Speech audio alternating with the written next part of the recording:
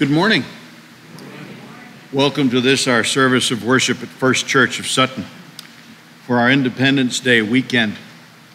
We're going to talk about what kind of freedom we have as Americans, but even more about the freedom that we have every day in the salvation in Jesus Christ. So we're going to talk about a couple of kinds of freedom today.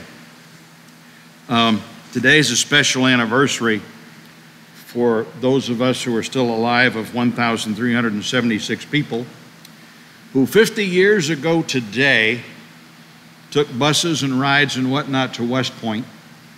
50 years ago yesterday, I got on my first commercial airline flight. I'd been on a helicopter and I'd been on a little private plane, but never a commercial flight. So I went to one of the two gates at Bangor International Airport, flew to New York City, Mom had slipped me 10 bucks for a cab, but I took a brochure and took a bus and a subway to downtown Manhattan. I tried to give the 10 bucks back to my dad because I couldn't arrive at West Point with more than 10 bucks in my pocket. He said, Take yourself out to dinner. Now remember, 18 was legal then. 10 bucks actually bought me a steak and a pitcher of beer at a steak and brew, which may not have been my best choice in life the night before waking up in a hotel room a little bigger than a broom closet, getting on the chartered bus with a bunch of guys I did not know from Adam, reporting to the man in the red sash, and then the rest of the day is a blur. So 50 years ago today, I reported to the man in the red sash and got a new name. I was New Cadet Buchanan that day. So hard to believe it's 50 years. I ain't that old yet. Well, my knee is, but the rest of me isn't that old yet. So a whole bunch of us that are still alive are celebrating that day 50 years ago. Other than that piece of personal trivia, are there any announcements for the congregation this morning? Okay, that's good for. Oh, way in the back corner, please, sir. North Carolina, welcome. Glad to have you here. Did any come, anybody come from further away for church this morning?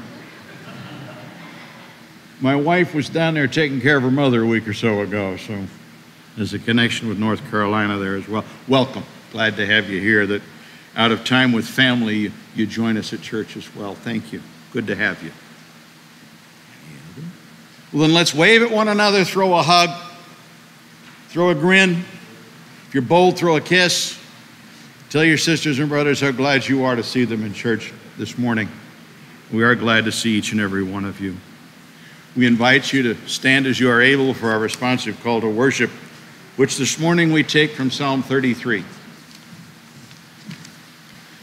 Blessed is the nation whose God is the Lord, the people whom he has chosen as his heritage.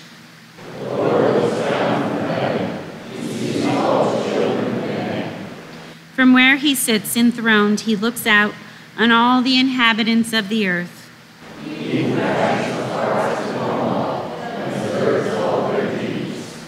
Behold, the eye of the Lord is on those who fear him, on those who hope in his steadfast love.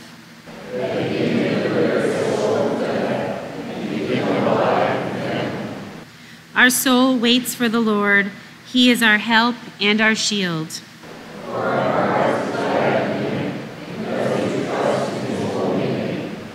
Let your steadfast love, O Lord, be upon us, even as we hope in you.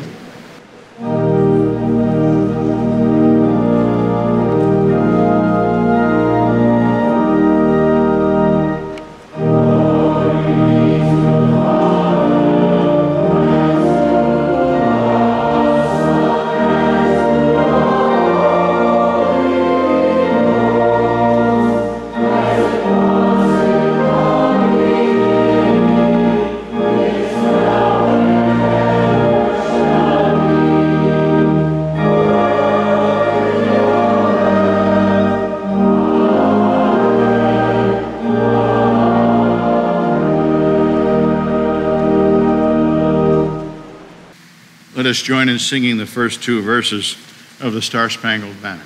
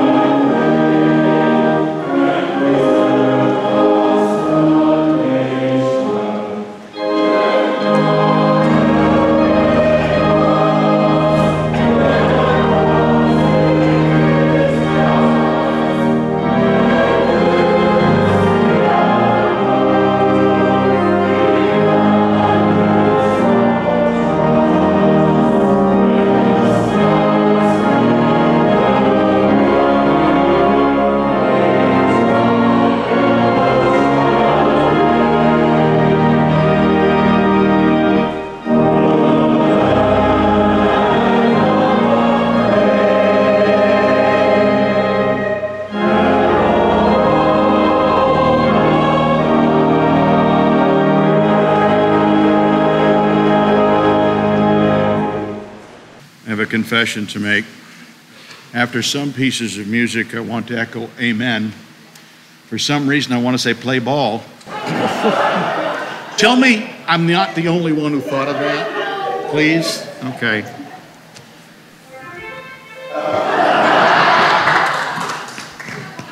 I can't give Eric any opening. Thank you. Back to worship. Let's join in our prayer of invocation. Put into our hearts such deep desires that we cannot be at peace until we rest in you, mercifully grant that the longing of our souls may not go unsatisfied because of any unrighteousness of life that may separate us from you. Open our minds to the counsels of eternal wisdom. Breathe into our souls the peace which passes understanding. Increase our hunger and thirst for righteousness, and feed us, we beseech you, with the bread of heaven. Give us grace to seek first your kingdom, and help us to grow as you add unto us all things needful. Amen. The young folks like to join me up front for a minute or two, please. Good morning. Yeah, I know. Don't get too hopeful.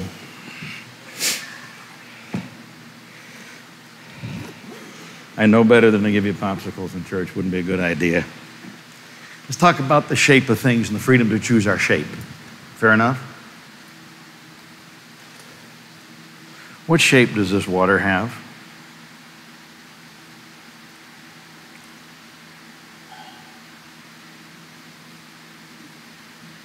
Definition of a fluid, anybody who took physics or chemistry?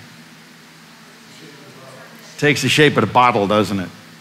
So if I poured this into a glass, it would take the shape of the glass. Now, if I were to pour it out on the floor, better not, huh?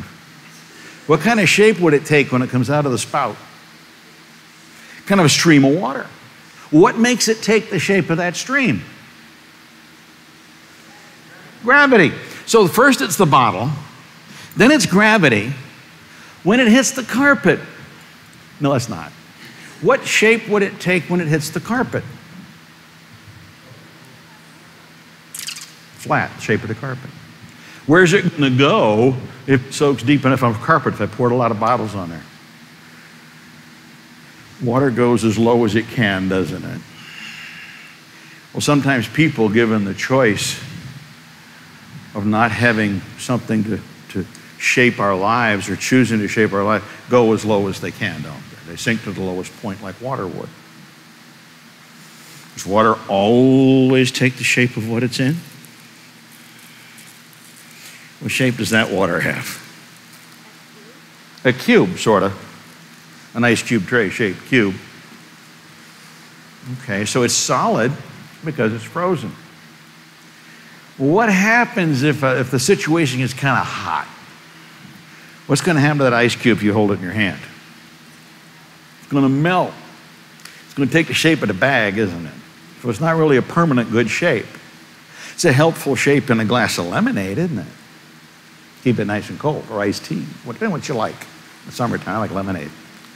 So ice can have a shape, but it doesn't know how to hold its shape. And maybe that's like someone who, who takes a shape, and this is a, a heavy one to move, but here's a guideline to a shape. Would you thump on that, please? Just. Is that going to take the shape of what it's in? Or has it got a good shape all on its own? It's got a good shape, it's solid.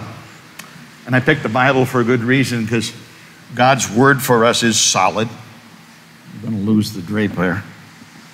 God's word for us is solid, isn't it?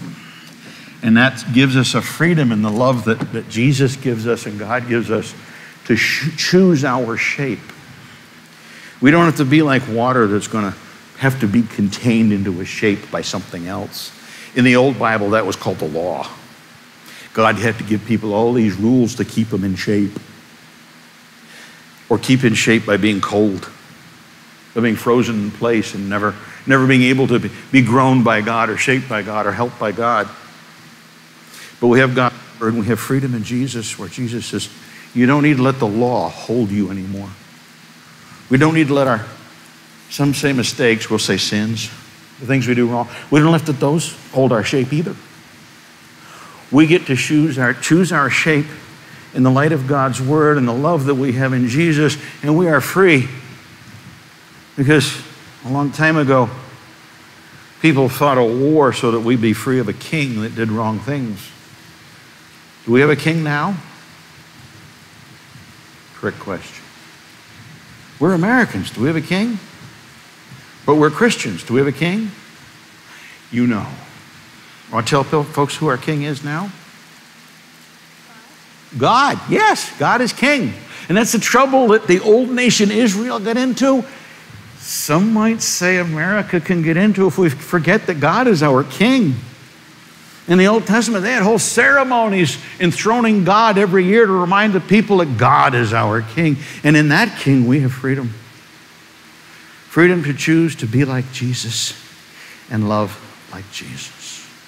Now, will you promise me something? Don't take the ice cubes out of the bag yet. Fair enough? We'll go sit with your family and we'll listen to some more music.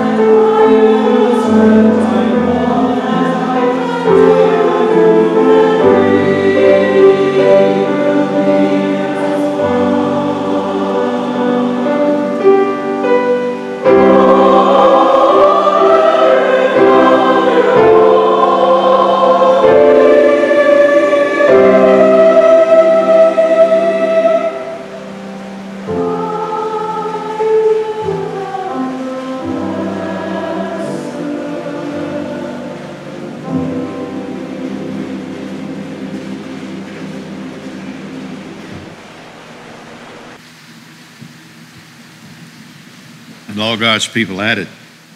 Amen. And thank you. This time has come to join our greatest thanks, our greatest cares, and lift, lift them to the foot of God's mercy seat in prayer. Um, I'm up with a, a, a, kind of a collection of folks that, that need prayer this week. One of my classmates, also another Dave, is in, still in severe pain and wound up in the ICU in a VA hospital in Florida as his care has gone quite a roller coaster ride. So please keep Dave down in Florida in your prayer. Uh, our church administrator, Marie, her, her, sister Nancy, is in the hospital with some uh, post operative infection issues. So please keep Nancy in your prayers as well. Janice Swindell has now been moved from rehab to Memorial Hospital, sadly with COVID. So we pray for a, an uneventful course of the disease and a quick recovery for Janice from that. Um, I just learned that my sister Cindy up in Maine is preparing for the radiation and chemotherapy treatments for breast cancer. So please keep my sister Cindy in prayer as well. Um, our brother Ken Jorisman lost a, a, friend this past week named Bill down in Maryland who, who passed away somewhat unexpectedly. So, my, my sister in law's mother in law, Rose, has had heart surgery postponed a second time. Problem is that without the heart surgery, she's in great jeopardy. And with the heart surgery, she'll be in great jeopardy. So, it's catch 22 for her.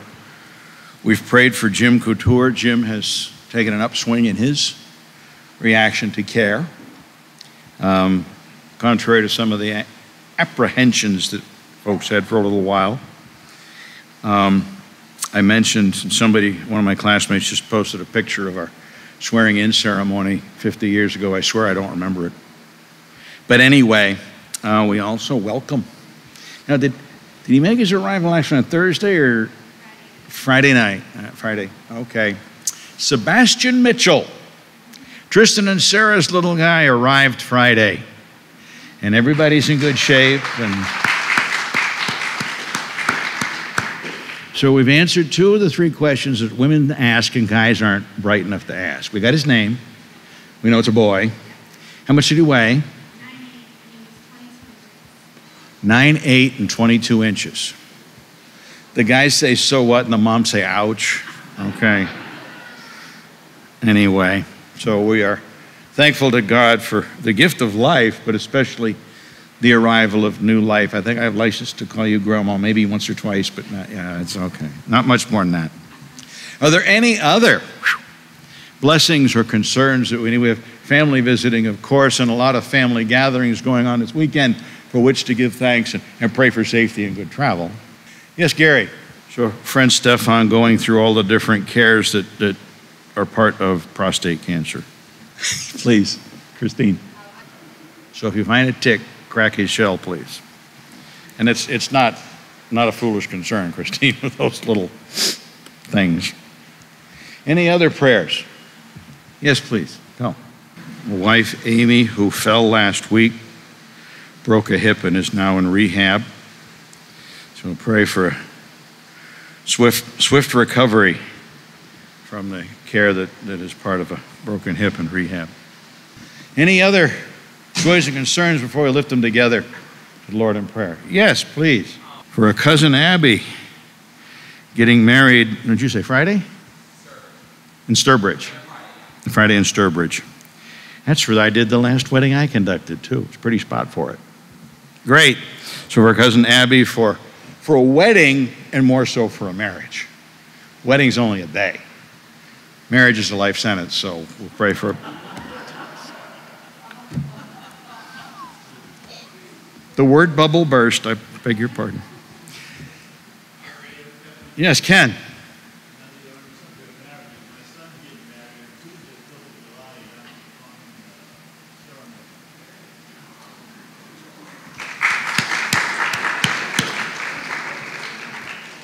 His name again? Keith? So Keith's getting married uh, Tuesday on 4th of July.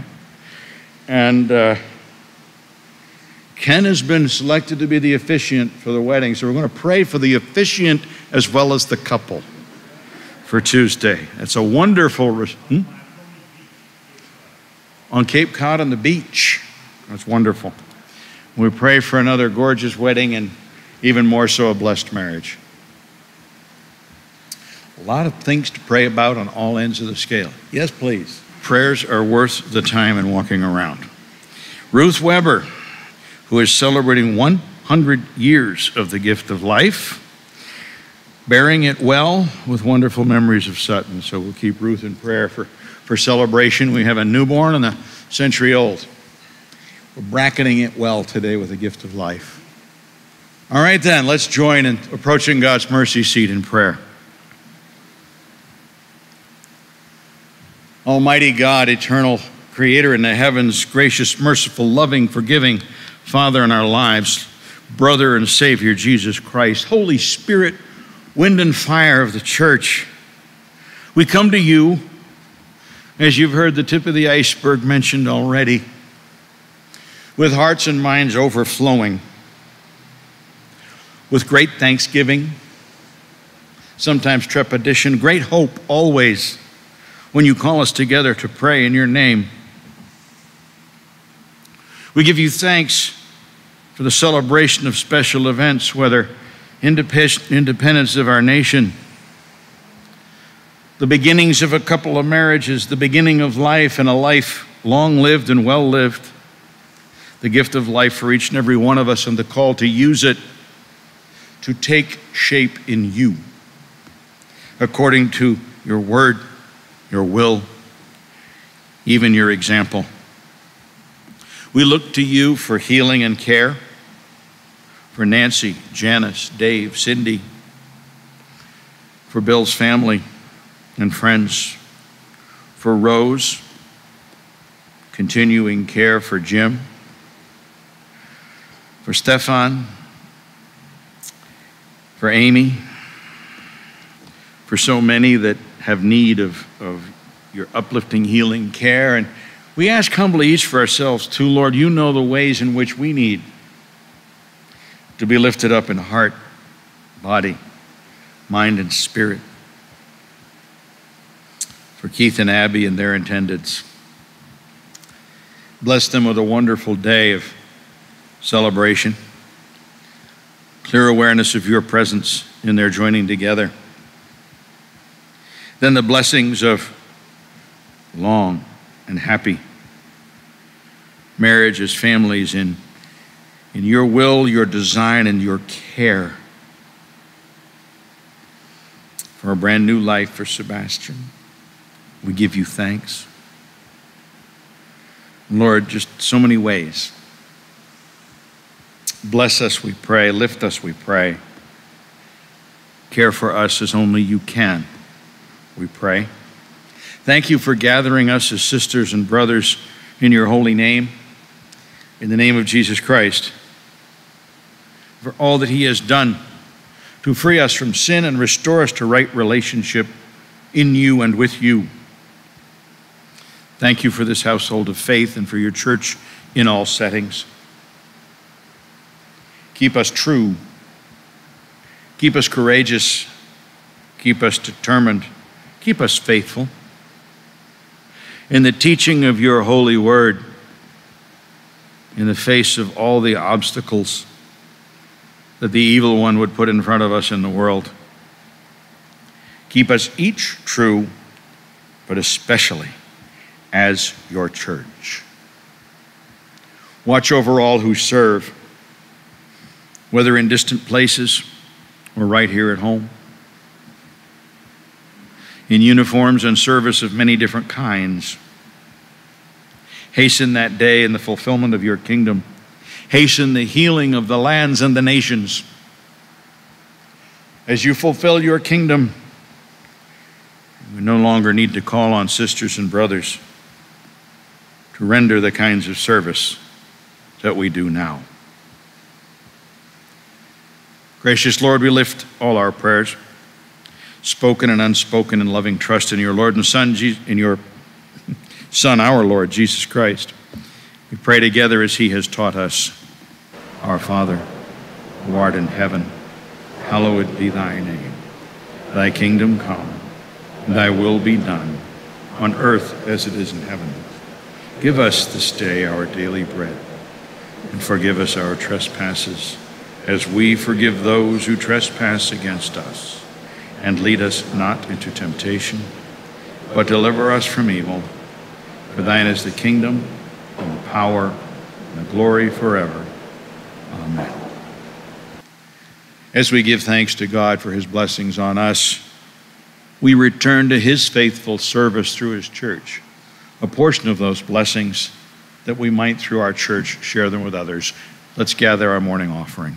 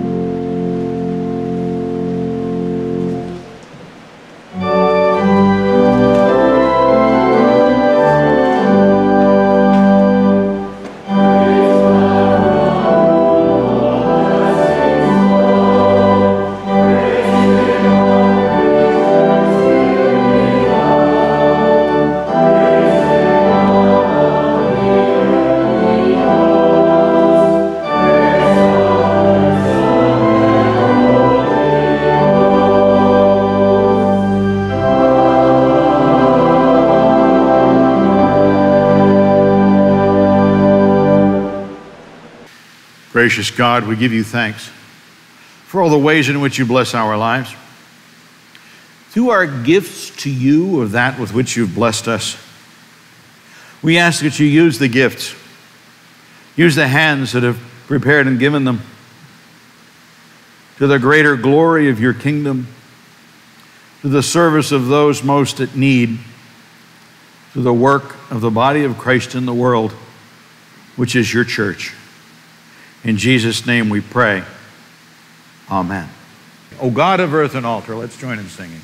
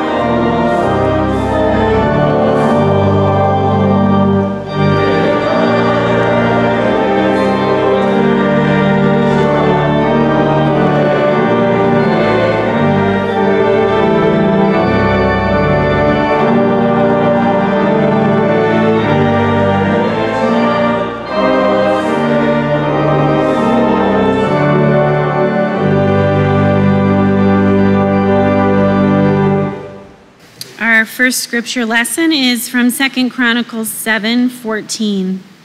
Then the Lord appeared to Solomon in the night and said to him, If my people, who are called by my name, humble themselves and pray and seek my face and turn from their wicked ways, then I will hear from heaven and will forgive their sin and heal their land. The next reading is from Galatians 5, verses 13 to 14. For you were called to freedom, brothers and sisters. Only do not use your freedom as an opportunity for the flesh, but through love serve one another. For the whole law is fulfilled in one word you shall love your neighbor as yourself. The last reading is from John 8, verses 32 to 36. Jesus said, And you will know the truth, and the truth will set you free. They answered him, We are offspring of Abraham and have never been enslaved to anyone. How is it that you say, You will become free?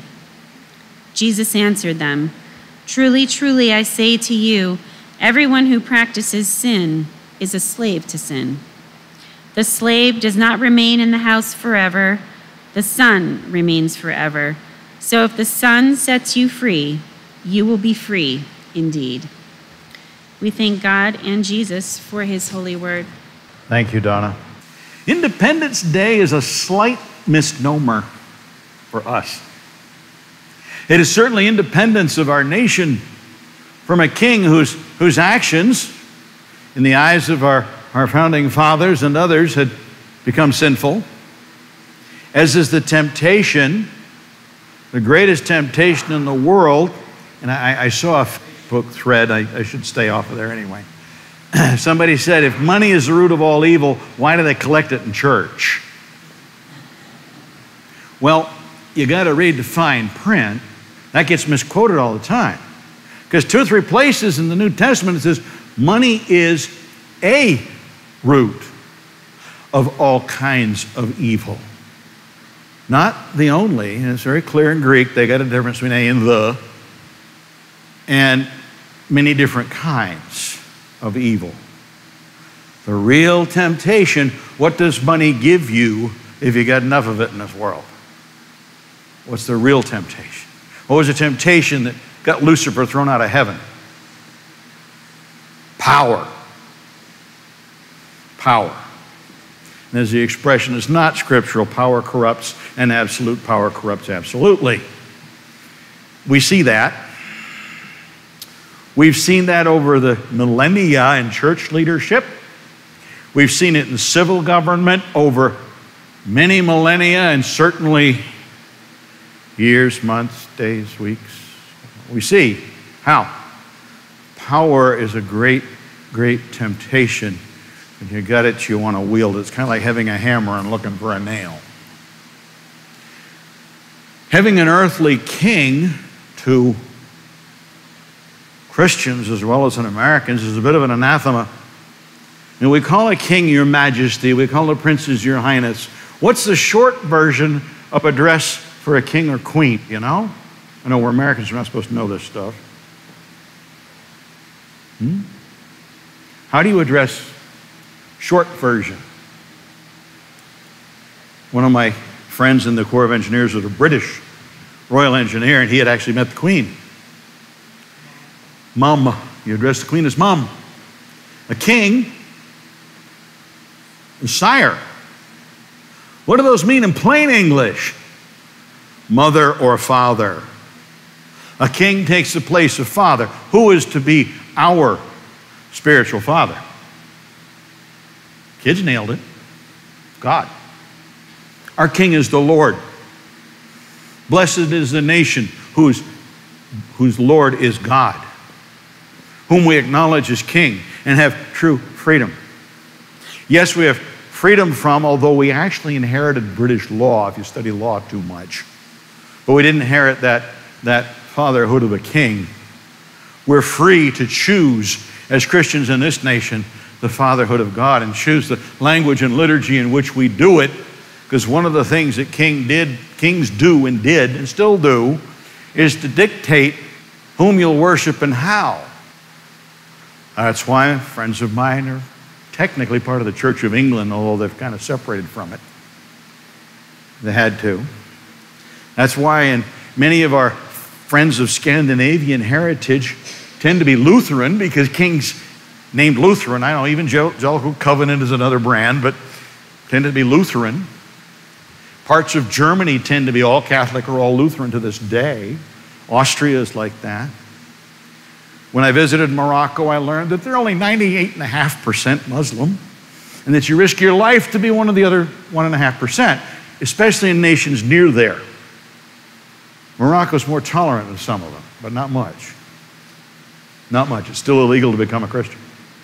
So we have that freedom as Americans, and I gathered with a couple of my friends for an online prayer meeting on Flag Day on June 14th and mentioned it, and one of my colleagues, and we all agreed very quickly. It's not that we affirm everything our nation has done or is doing, but the ideals for which we should be doing them that are represented by the flag of our nation, the freedom we have to choose how we worship and serve God. True freedom.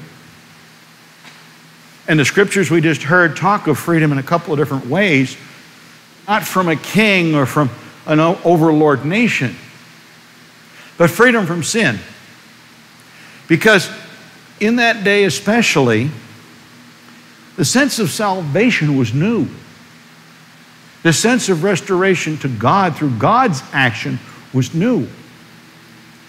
If you were a sinner, you were bound to be a sinner. You were cut off from the worshiping community, cut off sometimes from your family, and you were slave to sin. And the only way to try to obey was to obey the law that started with the Old Testament, and it's good for us.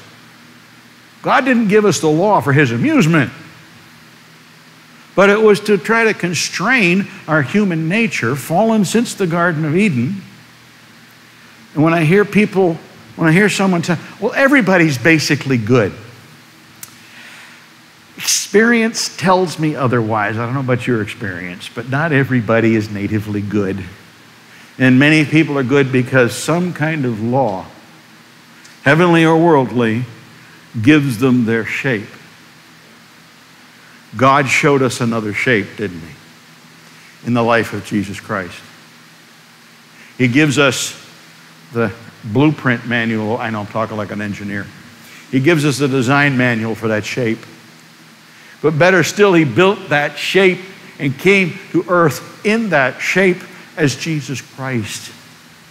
With all the love, the healing, the grace, the mercy, the forgiveness, the patience, even the suffering unto death to take on the penalty for the sinfulness that we couldn't shake off by ourselves. And with that taking away of the penalty, with that pardon, when we're pardoned and not put on parole, we have the freedom then to build a new life, a freedom to shape a life in Christ. Knowing that we are pardoned of the sentence, the shape does not have to be in a spiritual orange jumpsuit, marched to meals, and locked up at night. We're free. We can choose to shape our lives in the shape of Jesus Christ. With all those attributes returned to God in gratitude, but used in how to love and serve one another.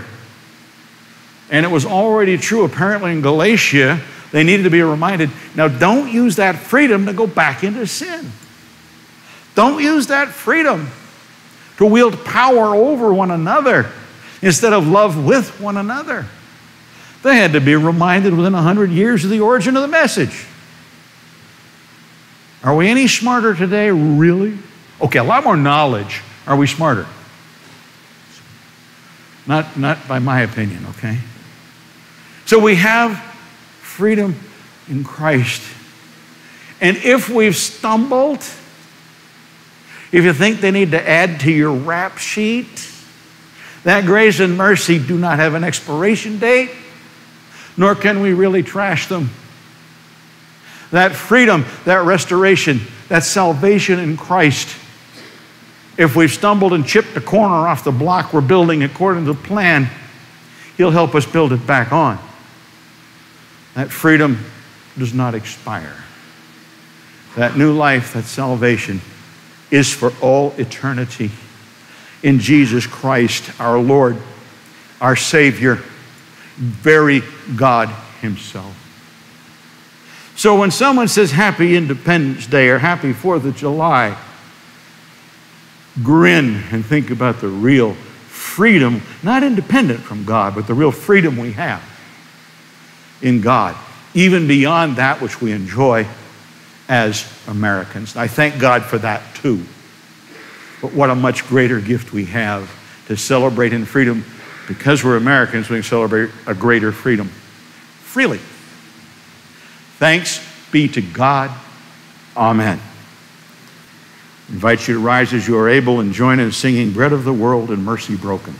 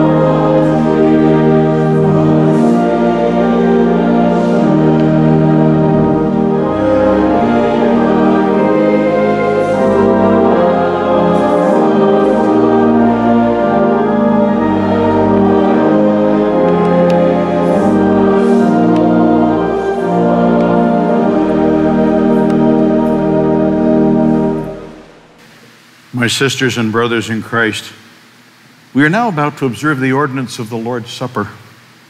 This table of the Lord is open to all Christians, and although none should partake of these sacred emblems, impenitent or without faith in Christ, we cordially invite all who are sincerely seeking Him to come to His table in the assurance that He who came into the world to be the Savior of all will in no wise cast them out.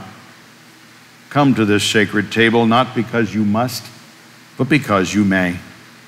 Come not to testify to your righteousness, but that you sincerely love our Lord Jesus Christ and desire to be his true disciple. Come, not because our goodness gives us a right to come, but because in our frailty and sin we stand in need of heaven's mercy and help.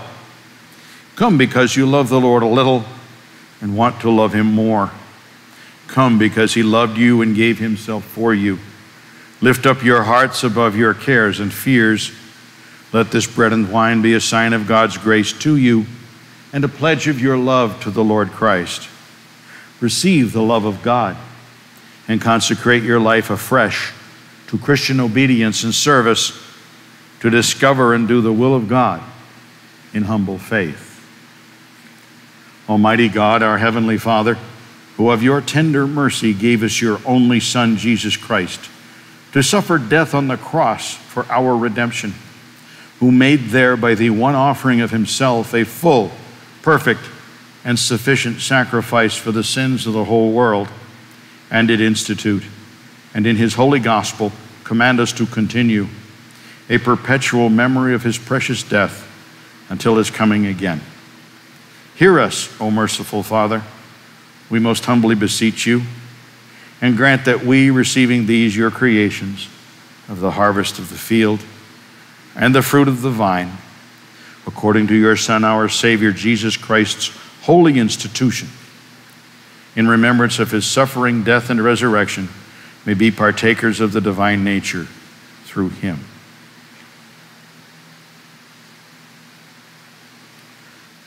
Remember, that in the same night in which he was betrayed, Jesus took bread, blessed it, broke it, and gave it to his disciples and said, Take and eat. This is my body, which is broken for you. Do this in remembrance of me. In remembrance of, and in the name of our Lord Jesus Christ, we offer you this bread.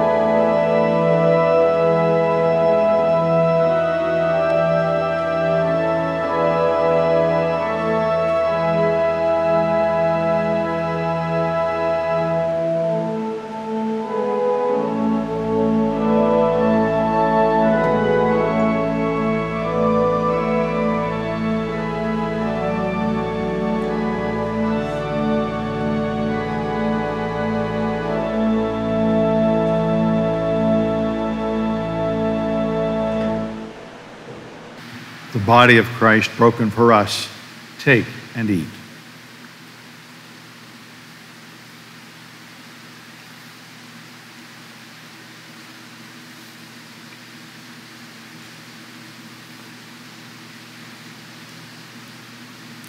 Amen.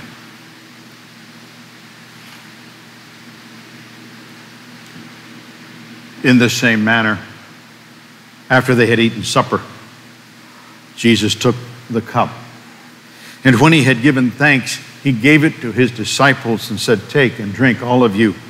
This is the cup of the new covenant in my blood, which is shed for many for the forgiveness of sins. Do this in remembrance of me, in remembrance of, and in the name of our Lord Jesus Christ, we offer you this cup.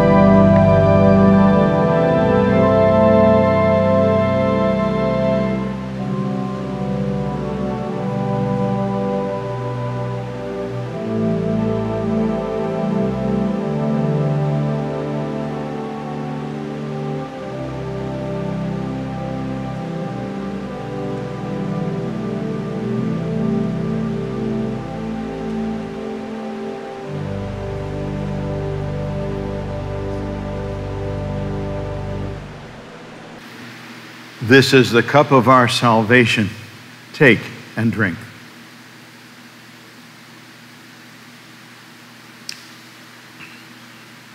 Amen.